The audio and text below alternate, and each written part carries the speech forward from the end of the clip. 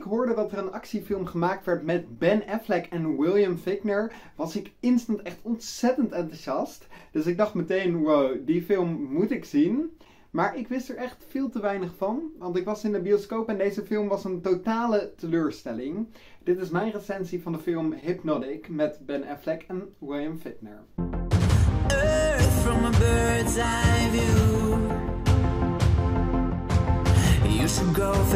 You should see en welkom bij Cinemakers, de serie waarin ik elke week vertel naar welke nieuwe bioscoopfilm ik nu weer ben geweest.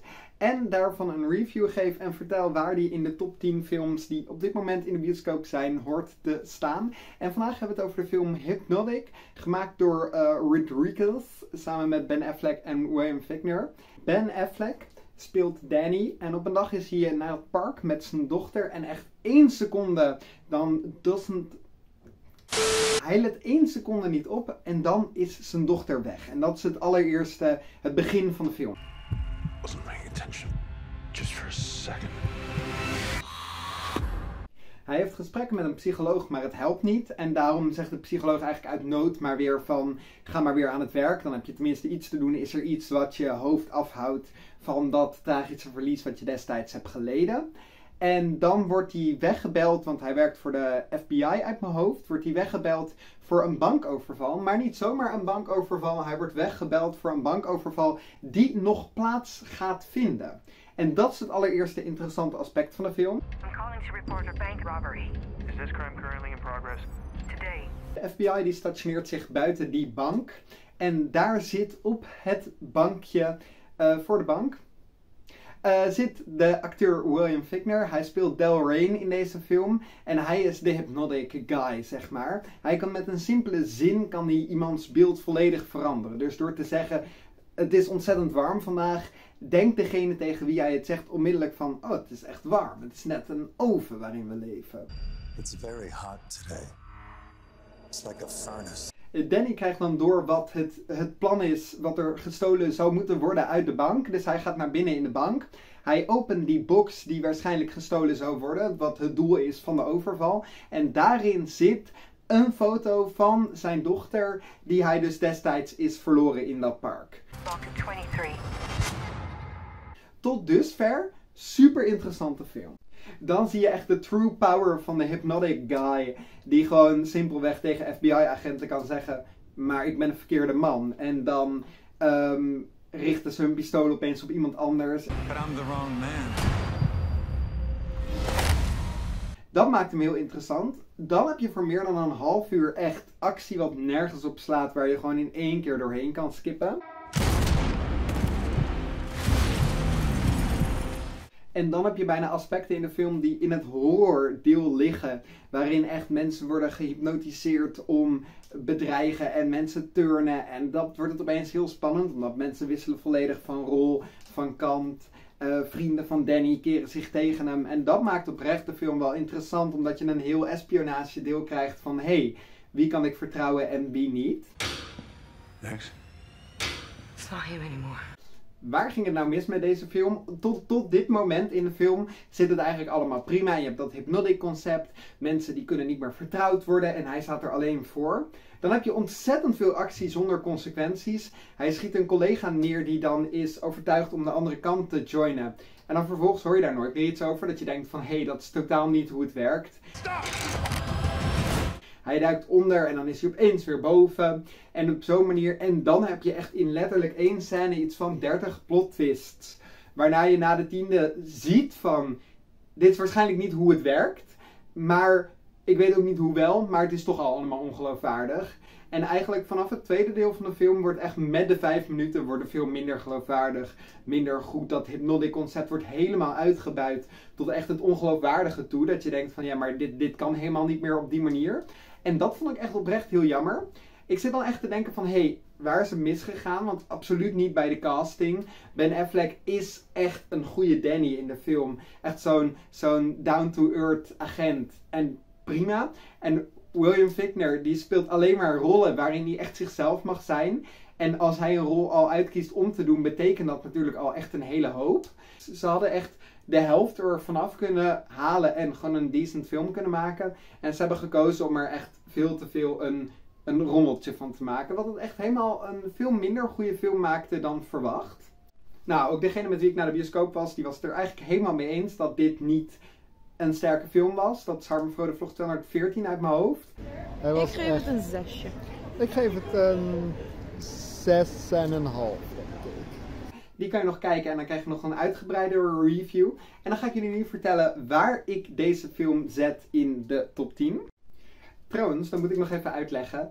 Ehm Ant-Man and the Wasp heb ik het langst geleden gezien, dus die gaat uit de top 10, want die draait op dit moment ook al niet meer in de bioscoop. En Hypnotic komt dus in de top 10. Nou, zoals jullie vermoedelijk al verwacht hadden aan mijn redelijk negatieve pitch van deze film, zet ik hem niet al te hoog in de top 10. Ik zet hem op nummer 7 en dat maakt de top 10 op dit moment. Op plek 10 Transformers Rise of the Beasts. We fighting this alone we fighting it together? Op plek 9 No Hard Feelings. I don't think you should tell anybody what to do with their body. Nope. Op plek 8 Insidious The Red Door. We're ready to forget the further. Op plek 7 Hypnotic, waarover deze film vandaag gaat. But I'm the wrong man. Op plek 6 zet ik Guardians of the Galaxy volume 3. We'll all fly away together. Op plek 5 zet ik Mission Impossible Dead Reckoning Part 1. The world's coming after you. Op plek 4 zet ik Indiana Jones and the Dial of Destiny. Hitler made mistakes. And with this, I will correct them all. Op plek 3 zet ik To Catch a Killer. I'd be working for the Bureau. Op plek 2 zet ik Spider-Man Across the Spider-Verse. I'm gonna do my own thing. En dan zet ik op plek 1 nog steeds The Flash. We try not to die. En dat is dus op dit moment de ranking van de bioscoopfilms die op dit moment draaien of echt net uit de bioscoop zijn. Eh, volgende week vertel ik jullie hier meer over. Maar ik bedacht opeens, ik kijk thuis natuurlijk ook nog wel eens af en toe een filmpje waarover ik jullie dan niet vertel. Dus ik heb hier ook nog een top 10. Dit hoort eigenlijk trouwens helemaal niet bij de serie. Maar ik heb hier ook nog een top 10 van de films die ik afgelopen tijd zelf heb gekeken. Op 10 zet ik Rogue One, A Star Wars Story. Een film speciaal gemaakt over hoe rebellen het plan eh, van de Death Star stelen. Ehm, ik vond de film minder goed uitgevoerd. En uiteindelijk alle lead characters gaan dood net nadat ze hun purpose in de film vervuld hebben. Dus daarin zet ik hem niet heel hoog, maar het was ook zeker geen slechte film. A major weapons test is imminent. We need to know how to destroy it. Op plek 9 zet ik de film Legally Blonde. Ik studeer zelf rechten, dus Legally Blonde wordt super vaak even gerefereerd in een college of in een werkgroep als een soort grapje van eh, het is geen Legally Blonde. Het is gewoon een grappige comedy, maar het is niet per se een super sterk verhaal. This is the type of girl that Warner wants to marry. A law student. Op plek 8 zet ik eh, Star Wars Episode 1 eh The Phantom Menace. The Phantom Menace is een super goede Star Wars film, alleen hij is wel echt al wat ouder. Dus je merkt bijvoorbeeld in de CGI zit hij minder goed. En het verhaal is nog niet super complicated en ook nog niet super spannend. Wat je in latere Star Wars films wel terugziet. At last we will reveal ourselves to the Jedi. Op plek 7 zet ik Morbius. Morbius is een karakter uit het Sony Spider-Man universum. Morbius is een nieuwe bad guy, waarschijnlijk een van de Sinister Six. De film is niet super goed, maar hij verdient ook niet alle haat die hij online krijgt. En hij is oprecht op bepaalde momenten zo ontzettend spannend. En ik heb best wel genoten van de film, dus best wel eigenlijk een aanrader. What did you do to yourself, Doctor? I wish I knew. Op plek 6 zet ik Solo A Star Wars Story. Ik vond het een supergoed Star Wars verhaal. Ondanks dat andere mensen zijn veel minder positief over die film. Maar ik heb er best wel van genoten. En het is gewoon net een verhaal. Het is wat persoonlijker. Maar het heeft wel echt die, die spanning. En dat vond ik heel leuk. Heard about a job. Big shot gangster putting together crew. I'm a driver. And I'm a flyer. Op plek 5 zet ik de Mauritanian. Gebaseerd op een waar gebeurd verhaal over een van de lead terroristen van 9-11. Die dan onschuldig vast zou zitten en dan opeens verdedigd wordt door een nieuwe vrouwelijke advocaat. We hebben hem samen gekeken op een filmavondje van Ichtes, mijn studentenvereniging. En dat was zeker een hele geslaagde avond en echt een super interessante film als je meer zou willen weten over Guantanamo Bay.